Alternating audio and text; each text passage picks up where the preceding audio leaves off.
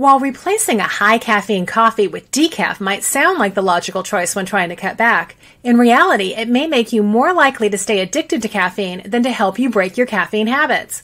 The problem is consistency. Caffeine is classified as a drug because it stimulates the central nervous system.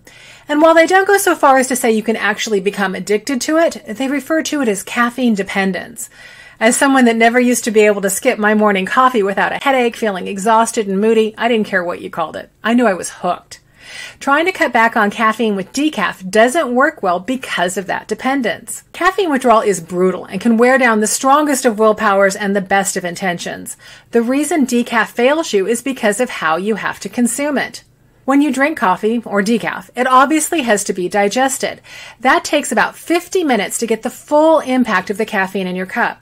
So while the caffeine withdrawal is demanding satisfaction, you're stuck waiting for digestion and caffeine withdrawal will not be ignored. It gets impatient and it won't let up on the symptoms.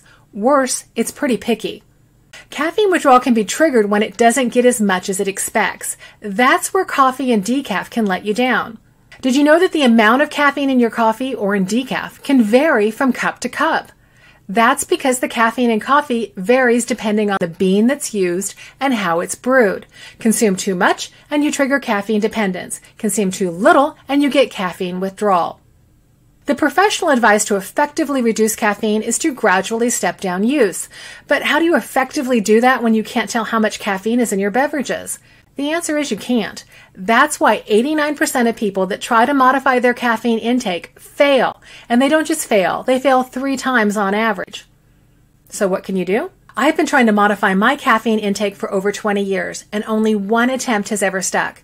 I crushed my caffeine addiction two years ago, and I haven't relapsed or fallen back into my old habits because I didn't depend on decaf this time. Caffeine control doesn't depend on digestion like decaf and watered down coffee. It takes a shortcut by being dissolved in the mouth and then goes straight to the brain. This lets me get a boost of focus and energy that works better and 10 times faster than decaf. It let me crush those caffeine cravings fast so it never felt like I was cutting back at all.